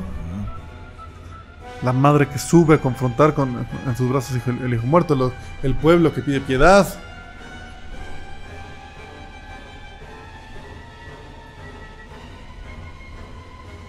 Y este, es- eso es lo que me refería con el muralismo, ¿sabes? O sea, mira Sí, este plano, sí. es brutal, el paraguas así tirado. Dice, no disparen. Y aquí viene uno de los planos, no nada más uno de mis planos favoritos de la película, sino uno de mis planos favoritos de la historia del cine. O sea, la mamá caminando, las sombras de los soldados. Y luego entra en, cuadro el sable del capitán. ¿Sabes? Este plano es brutal. ¿Sabes? Es brutal. El pueblo pidiendo piedad. Y por supuesto, balaceados. Y además hasta abajo, intenta escapar. Llega la caballería montada, llegan los cosacos. No pueden escapar, todos la van a pasar mal. Y aquí tenemos el otro momentito de, de el acorazado Potemkin. Muy popular. Aquí además incluso la masa opresora incluso pasa encima de la madre sin prestar atención a la madre y su hijo. Un señor que quiere levantar a alguien, no puede. La clase media que es balaseada. Y aquí conocemos a la mamá con su niño en la carreola.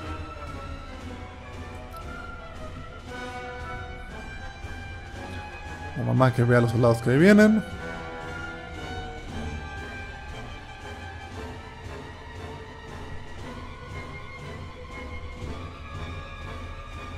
Balazo, balazo, balazo. De repente la mamá se lleva la mano al vientre. La carreola apunta el peligro inminente además. La carreola. Las manos vemos un cisne. Esto no, es- no es nada más un cisne. Este, esto que tiene aquí como en su cinturón es el escudo de la ciudad de Odessa. Es como si tuviéramos el escudo nacional. Aquí, entonces se lleva las manos aquí al vientre. Cortamos a la gente bajando. Y cortamos a el escudo lleno de sangre. ¿Sí? Kuleshov. Sí, no manches. A más B es igual a C. Y aquí es A más B más C igual a D. Ajá. Incluso. El escudo de la ciudad, la gente siendo oprimida, el escudo lleno de sangre. O sea, sutil no es. No, no, no, Sutil no era. Pero eso mismo hace Estados Unidos, justamente. Ah, no, todo el mundo. O sea, y esto es algo que es interesante. Cuando. Esta, te digo, esta película es de lo más, más, más popular en la historia del mundo cuando sale. ajá. Y entonces todo el mundo la dice, güey, qué peliculón, no manches. Tanto así que el líder de la eh, propaganda nazi, ¿no? Joseph Goebbels, el, el arquitecto, ¿sabes? De la, de la publicidad del nazismo y el que se supone que le enseñó a hablar a Hitler, eh, es tan impactado por esta película cuando la, cuando la, la saca que escribe en sus diarios personales cualquier persona. Y, y- y- y estoy hablando de que el líder de la propaganda nazi, escribiendo esto, dice, cualquier persona que no tenga una fuerte convicción política, si ve el acorazado Potemkin, se vuelve socialista. O sea, tú ves esta película y dices, ok, ¿dónde, dónde firmo? Sí, sí, sí. ¿Sabes? Vamos a apoyar la Sí, causa. claro. ¿No? Entonces me encanta que te digo, el líder de la propaganda nazi dice eso. Claro, la siguiente parte es cómo la hacemos nosotros. Ajá. ¿Verdad? Y por eso Leni Riefenstahl y por eso la propaganda nazi. Y de ahí de la propaganda estadounidense y la propaganda inglesa y la propaganda de todos lados. Sí. Sí, el cine todo el tiempo te está eh, estableciendo ciertos códigos. Sí, sí, sí. ¿sí? Sí, se- de cierta manera se puede decir que, que pues te, te está adoctrinando, ¿no? Ah, siempre. Siempre. Parte del pensamiento crítico es, reconocer eso. Y es reconocer a ti mismo cómo, cómo hemos sido adoctrinados. Claro. A nunca es fácil y a nadie nos gusta cuestionarnos nuestras Sí. creencias. ¿Sabes? Cuando alguien te cuestiona tus creencias, es, puede, ser, ay, puede ser muy agresivo. Sí, por eso ser se dice, no se habla de... de religión y de fútbol. Ajá. y de política. Y de fútbol. ¿Sabes? De religión, política Sí, y fútbol sí. no se habla. ¿Por qué? Porque puede ser un tema muy incómodo. güey. Que así son las cosas. Ajá. No, pero ¿por qué son así las cosas? Exactamente. ¿No? ¿Por qué tiene que ser así? ¿Sí? Preguntarse eso es básico para el cineasta. Básico para el artista, pues estamos hablando de cine, ¿no? Básico para el cineasta. Sí. ¿sí? ¿Por qué tiene que ser así? ¿Qué es lo que cuestionas? Ok, va. No estoy diciendo que, no estoy diciendo que lo que cuestionas es falso. Pero mínimo saber por qué lo piensas es importante. Sí, sí, sí, porque justo la- a, a respuestas complejas se requieren preguntas también complejas. Justo. ¿no? O sea, porque O- respuestas fáciles son, pues regularmente son, son erróneas, se puede decir. ¿no? Completamente, o sea, ahorita que estamos en ya épocas de cambio de gobierno, justo hace meses era como de ¿por quién vas a votar? Ajá. ¿No? ¿Y por qué? Sí, claro. ¿Sí? Y es muy diferente al, ah, yo siempre, mi, mi papá votaba por el PRI, así que yo también voy a votar por el PRI. ¿Sabes? O, no, pues es que vi, un TikTok, ¿sabes? Ajá, Donde sí, hay que votar por esta persona, porque, ¿sabes? Y no cuestionarse eso, pues sí, va a hacer que te dejes llevar por herencias, eh, trending topics, ¿sabes? Sí. Modas. O por la misma lógica, ¿no? Porque de repente tu lógica no es tan... Como no hay suficientes datos, ¿no? Claro, pero es que tu lógica viene de Sí, una viene moda, viene de tu familia, viene de figuras de autoridad. Sí, sí, sí. Entonces, justo- sí, sí hay una, una, una base de por qué pienso así. Ajá. Que es importante. Yo sé que suena muy, como, "Ay, oh, muy denso, pero no, es básico. ¿Por qué haces las cosas que te... que- ¿Por qué te enojas así? ¿Por qué, por qué eres feliz con esto? ¿Qué- ¿Por qué te gusta tal cosa? Sí. ¿no? No todo el mundo lo hace porque no es tan cómodo. Pero yo creo que es básico. Para el artista más. Para el artista es necesario. Ujú. Sí, justo su obra eh, es un cuestionamiento constante de lo que está viviendo en el momento. ¿no? ¿De qué siente? ¿Cómo lo siente? ¿Y por qué? Y es por eso que es interesante observar la obra de diferentes artistas a lo largo de la historia, porque te das cuenta del momento histórico en el que están viviendo. Ah, y, y además, si lo ves a lo largo de la historia, puedes ver sus cambios de perspectiva. Hay artistas que creen algo y luego creen otra cosa y luego creen algo más. Sí, ¿no? sí, sí. Entonces, ah, Sí, sí, sí, como Griffith, ¿no? Que ya se volvió como bueno. Griffith. No, como hoy en día, te digo. Vemos películas, o sea, ve, ve las pelis de- del toro. Sí. Ve las primeras y ve las, ve las últimas. Va, veremos su Sí, Frankenstein. sí, Se ven los, sus gustos y afinidades. Sí. Se ven sus dudas y quejas. Sí, del mismo este, Scorsese. Por ejemplo, no te digo, él cuando filma Silencio dice, ya estoy listo. ¿Sabes? Y no, no la podía filmar en los 90 porque no estaba listo para filmar Silencio. Y tú dices, ¿Silencio? ¿Scorsese en los 90 no estaba listo para algo? No manches, está ¿Qué? ¿Qué? ¿Qué dices? ¿Sabes? Y es como, pues sí, cada quien tiene viajes eh, Claro. internos particulares. Sí, sí, sí. Pero bueno, ese es Eisenstein. ¿no? Blasevolod Pudovkin. Blasevolod Pudovkin. Ok, es el que les comentaba que es el que escribe eh, la técnica cinematográfica. Entonces, Ok. Pudovkin tiene un elemento. Mira, son- pueden sonar similares y en, en cierto sentido eh, se parecen esa- esta idea de la construcción de una frase cinematográfica. Es que Pudovkin es más más clásico, más tradicional en comparación con lo que Eisenstein sería, en donde la construcción de la frase cinematográfica no es a través de solamente un plano, es a través de varios planos. ¿no? Y, y es así donde puedes realmente aumentar la, la- la emoción y la idea de tu película. No es simplemente mostrar lo que pasa, sino ir construyéndolo. Pudovkin dice que cada plano es un ladrillo, ¿no? Y un ladrillo con ladrillo va creando una pared que te crea una casa. Ok, Entonces, cada plano es un ladrillo de una idea. Por ejemplo, si la escena fuera durante una noche invernal, una carreta cruza rápidamente el bosque, fácilmente tú podrías poner un plano general, un, un- un camino al lado de unos árboles en la noche y una carreta tuc, tuc, pasa. Ahí cumples, ¿no? Ajá. Pero, pero Pudovkin dice, bueno, pero ¿cuál es la emoción? ¿Cuál es lo que realmente estamos queriendo establecer aquí? Ese Pudovkin nos dice, no, deberíamos de más bien construirlo a través de lo que lo compone. Por ejemplo, en vez de tener solamente un plano, ¿qué tal si en vez de eso comenzamos con eh, la luna? Y se ve a través de los árboles, los cuales pasan en chinga. Cortamos a... eh, a, eh, a través de los árboles se ve algo que pasa rápido entre ellos, ¿no? Luego cortamos a el vaho del hocico de un caballo y luego cortamos a las riendas, las manos del jinete, un insert de las manos del jinete jalando la rienda. Luego cortamos tal vez a la- el abrigo arriba, ¿no? apenas si vemos como partes del rostro del jinete. Luego cortamos a la rueda de la carreta. Luego cortamos a la lámpara que está moviéndose. Entonces ya estás creando una sensación mucho más, ¿cómo decirlo?, fuerte que simplemente ver el plano general de lo que sucede. Sí, ¿Sí? sí, sí. Sí, porque Ladrillitos como que construyen una emoción. ¿Cuál emoción? Frío, intriga, adrenalina. ¿Sí? Sí, sí, sí está interesante porque justo con este montaje tú decides eh, qué, qué, qué- qué sensación te da esa escena, ¿no? exacto. ¿Cuántas veces no hemos visto de repente en un sueño a la, la cámara flotando, ¿no? Por ejemplo. Pues esa sensación te da el ¿Por qué cortas? pasando. Porque si construyes una escena con ladrillos, ¿no? ¿Qué ladrillos vas a usar? No es lo mismo. No, aquí yo, yo te describí una escena de intriga y adrenalina y velocidad. Pero tú puedes hacer lo que tú quieras. Entonces, pongamos un ejemplo para, para poder entenderlo un poquito más claro.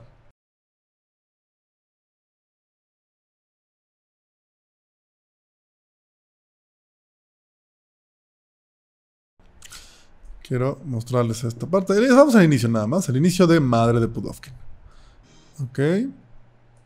Aquí un poquito también como de cultura, de, de- de cultura rusa. En Rusia, por supuesto, era ilegal estar borracho en la calle. Aquí está el policía. Vamos al policía. Vemos que está viendo un lugar. ¿Ok? ah, está ahí cazando, ¿no? Pero además, lo que me, lo que me encanta del- de, eso es de que, ok, si era ilegal estar borracho en la calle, pero no había, eh, ¿sabes? El Alcoholímetro, sopla- el, el ¿no? alcoholímetro, no Ajá. había el soplador ahí para que le soplaras. Ajá. Entonces, ¿cómo sabían si estabas ebrio?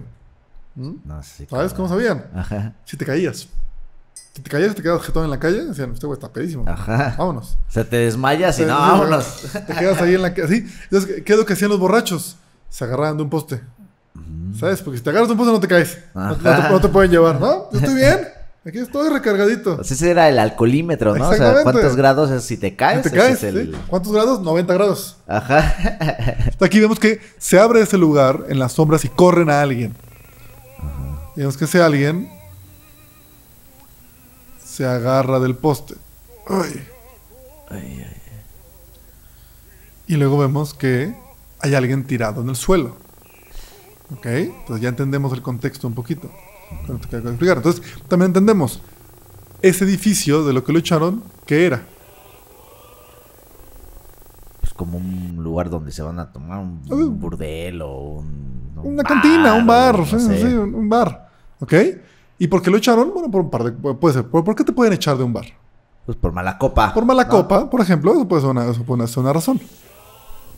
Entonces luego cortamos a un poquito del paso del tiempo y conocemos a la madre. Vemos una señora que está lavando la ropa. El hijo, por supuesto, el huevón. Y, mira. venido. y luego vemos a este tercer personaje. ¿Viste cómo no fue, no fue presentado todavía? Ajá. Vimos a la madre, vimos el hijo y luego lo presenta después. El padre. Entonces vemos, vemos esta escena. Abre la puerta. La señora voltea. El tipo en la puerta da el paso y esto me encanta también. pues está, está ebrio, está alcoholizado. Tanto que se tiene, se tiene que agarrar a sí mismo para no caerse para atrás. La iluminación. Sí, sí, sí, claro, te digo. Y aquí voltea a ver al hijo y de repente ve el, ve el, el reloj. reloj. Pero además, no nada más lo ve, ¿viste? Sí, el punto de vista, ¿no? Justo. ¿Cómo, cómo le hace? Porque entra en foco. Vamos viendo de Ajá. nuevo. ¿No? Lo voltea a ver y entra en foco. ¿Por qué? No es porque esté mal hecha la toma. No es como, ¡ay, el foco, perdón! Se me olvidó. Ajá. No, pues lo, lo corta, lo haces de nuevo. ¿Por qué entra en foco? Sí, pues porque. Porque está ebrio. borracho. ¿Qué tal? Es como, ah, sí. Y de ahí hace la dif- di- eh, disolvencia a la pesa del reloj. La mamá lo ve. Sí, ahí viene otra vez. este. Este, Ya llegó. Camina, la mamá lo sigue con la mirada. No, el pinche culecho está cabrón. o sea, no tiene ni De siquiera que repente, estar juntos quita, los dos. se la guarda. Ve la sombra que tiene además. Esta Ajá. sombra gigantesca, es otro personaje. Y de repente, el ama lo ve. Él dice, a ver qué hago, qué hago. A ver, en la sombra me encanta. Agarra el banquito. Se sube y se va, se va a llevar el reloj. ¿Por qué? ¿Por qué? A ver, ya, ya, ya. eh, ya. intentamos. El, el debe de algo. le debe ¿no? dinero. Lo corrieron de un lugar seguro porque no tenía varo. Ajá. Segui- quería seguir chupando, no tenía varo, debe dinero, lo corren. ¿Qué es lo que pasa? Llega a la casa y ¿qué hace? Busca qué vender. ¿Qué vender para volver a ir a chupar? Sí. Sí, Sí. y ahí también es A más B, ¿no? Completamente, solo que de una manera ya de narrativa. Ajá. Entonces la mamá va con él y le dice, no te lo lleves. El hijo se despierta, la- las, ma- las manos, el rostro, las manos otra vez, el papá. La, su, tu, tu, pa, pum, pa. El reloj se destruye. La tuerquita que gira. El papá lo voltea en la furia. La mamá que lo ve como de, ups. Y además, por supuesto, este reloj es como esta idea de la familia, ¿no? La familia deshecha, la familia destruida por el alcoholismo del padre.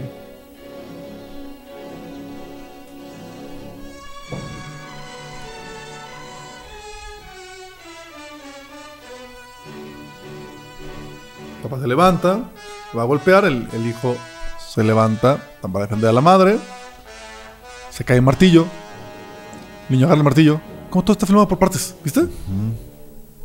Rostro, medium shot, rostro, insert, rostro, medium, eh, medium shot, eh, intertítulo, volvemos, rostro, insert de la- de la- del puño, que se relaja. Volvemos con el medium. Americano.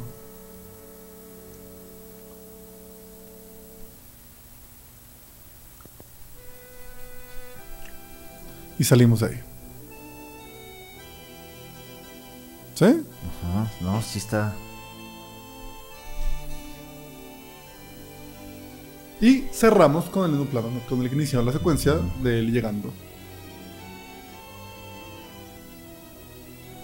Está bien chido, porque aparte no hay, no hay, no hay voz, ¿no? Eh, Sí, todo- no, todo nada. se cuenta con imágenes puramente. Ah, y la mamá queda, además, él ve la pesa, cortamos directamente a la mamá recogiendo las piezas rotas del reloj.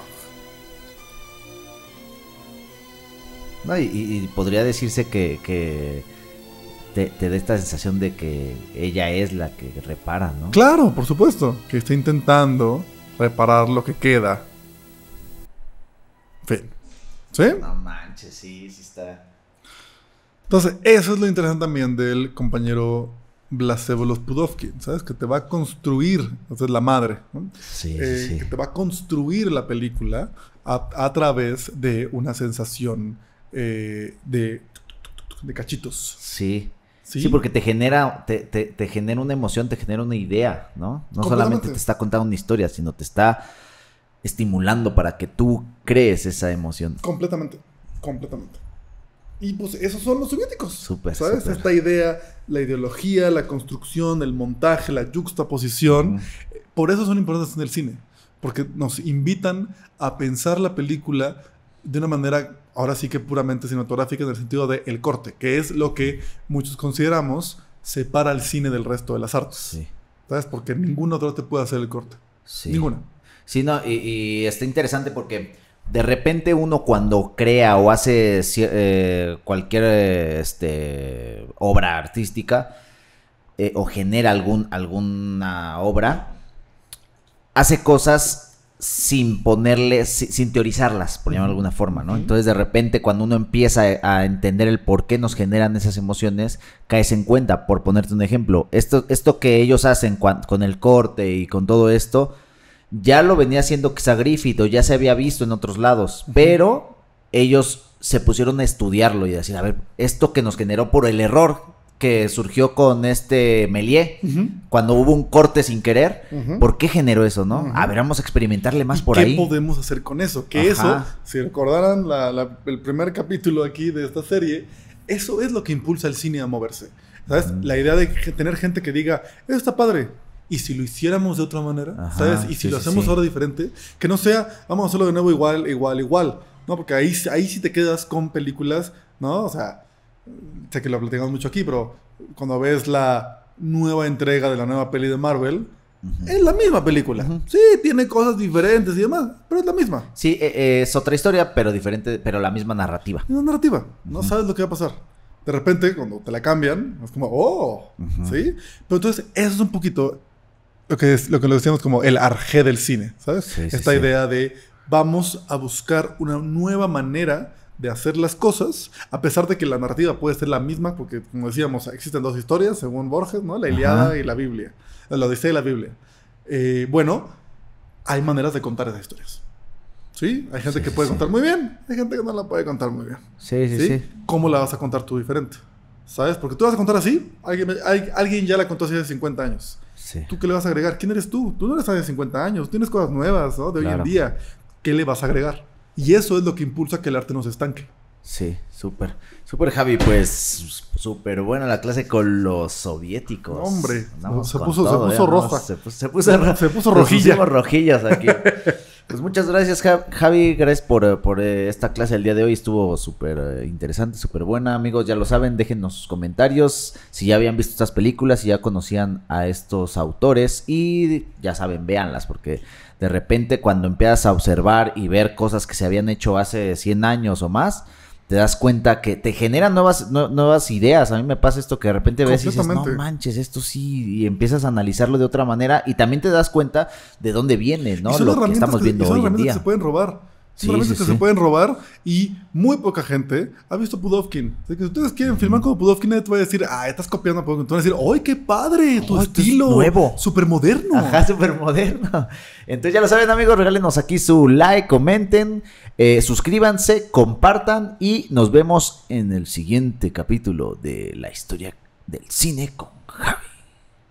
Cambio fuera. Vientos. ¡Uh!